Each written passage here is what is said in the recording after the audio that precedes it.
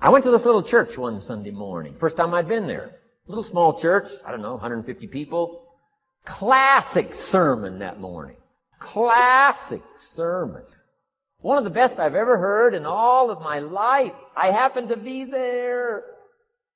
And I had my journal. While this sermon is going on, I can't believe it was so precise, it was so unique, it was so powerful. And I've got my journal and I'm taking notes. Taking notes of this classic sermon. Uh, guess how many other people were taking notes? Approximately, guess. How many do you suppose? It looked like, best as I could tell, I'm the only one taking notes of this class. Now, since I'm a stranger there, and it's the first time I've been there, and I'm taking these notes, people started looking, who is he and what's he doing? I started feeling just a little bit uncomfortable. I'm still writing. Now I'm feeling kind of like a spy, right? I could hear some of them say, he's going to get out of here with some of this stuff. And I did. I did. I'm the guy that walked away with the stuff. I'm asking you to be no less sincere and be no less committed to the advancement of your philosophy, the set of the sail. Talk about have your best year ever this year, and then get ready for next year, your very best year ever, and they'll start being the best, the best, the best year after year. If you'll commit yourself to some of this simple stuff called personal development, start with a walk around the block. Start with the refinement of your philosophy. Start with the teaching of your own fabulous mind, where all the answers are. I can only give you a few answers from my own experience. The rest of all the magical answers are within the confines of your own mind, but it takes the books Takes the cassettes, takes the videos, personal conversation, sermons, lyrics from songs, dialogue from the movie. Let your heart be stirred by words. Find ways to capture. Part of your personal development course. Isn't this good stuff? I'm telling you, this stuff changed my life. Turned me every way but loose. I've never been the same since the teacher gave me some of this simple instruction. How to go from where you are to where you want to go. How to go from what you are to what you want to become. How to go from pennies to treasure. How to go from nothing to fortune. It's all within the confines of this stuff that I've been trying to share with you. Be like a sponge. Don't miss anything. And not just the words. It's true. Don't miss the words, but don't miss the atmosphere. Don't miss the color. Don't miss the scenario. Don't miss what's going on. Most people are just trying to get through the day. Here's what I want you to be committed to do. Learn to get from the day. Don't just get through it, get from it. Learn from it. Let the day teach you.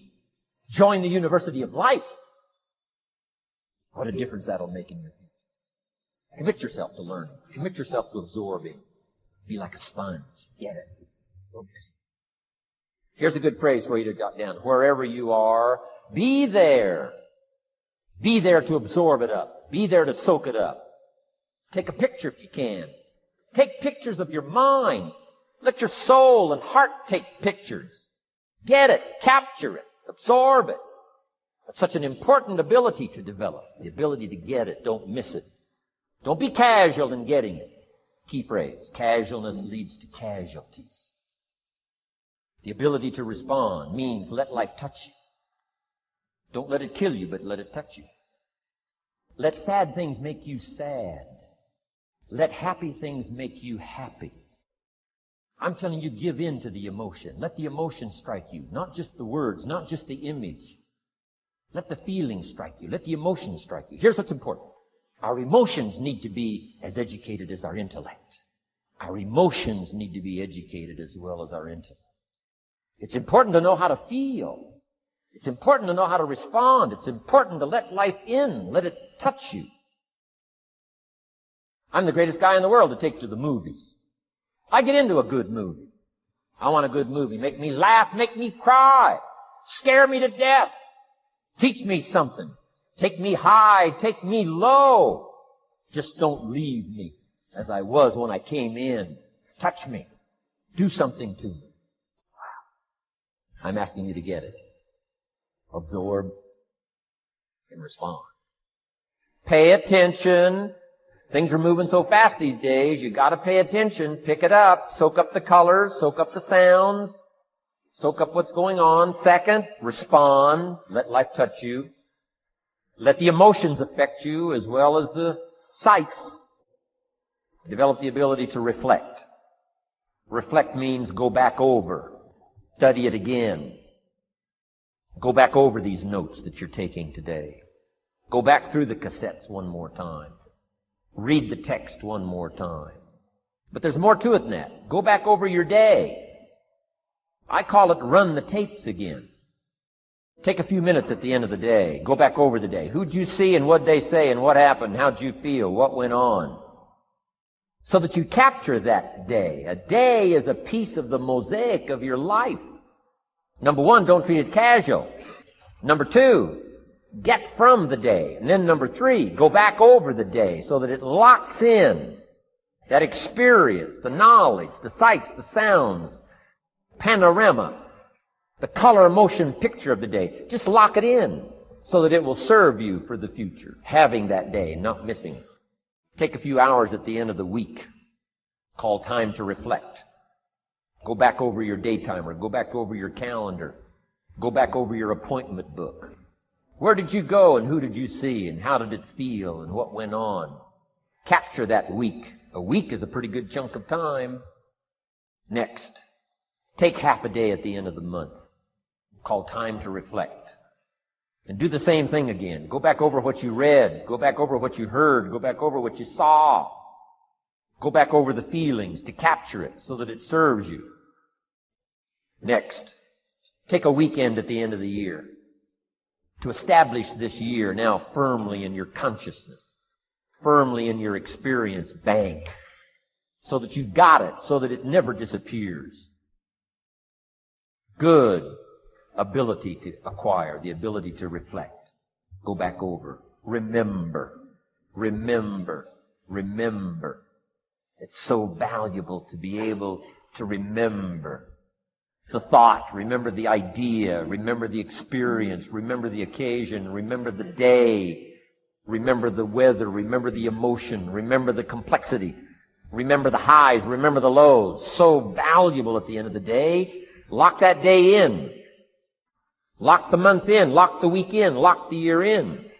Old Testament says a unique scenario unfolded according to the law. And that was they worked nine years and the tenth year was a sabbatical.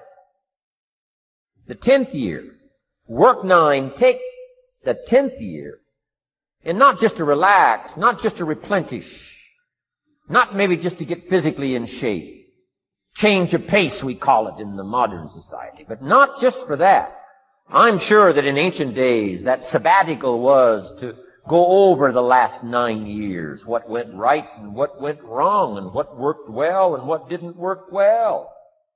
And how did you grow and how did you learn and how did you change and what have you got now after nine years that you didn't have at the beginning of the nine years? See, that's so valuable. A sabbatical. Some time. Some time.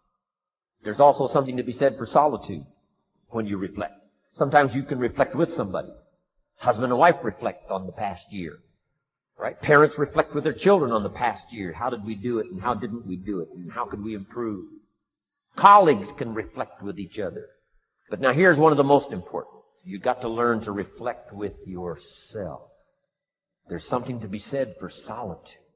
There's something to be said for taking those occasions to shut out the world and shut out everything else for a while. I've got a motorhome. That's how I do. With my motorcycle on the back. And I head for the mountains and ride the Jeep trails. Where there's very few human beings on the Jeep trails. Or out in the desert somewhere. It's called my time to get away. When you live a very public life, you treasure solitude a chance to reflect, go back over my life, go back over my skills, go back over my experiences alone. There are some things you need to do alone. Ponder, think, wonder, read, study, absorb, soak in, see if you can't become better this year than you were last year, better the next nine than you were the first nine. Solitude. There's even a more modern advice that says, go to the closet for time of meditation, time of prayer. Go to the closet. Closet meaning what? Away.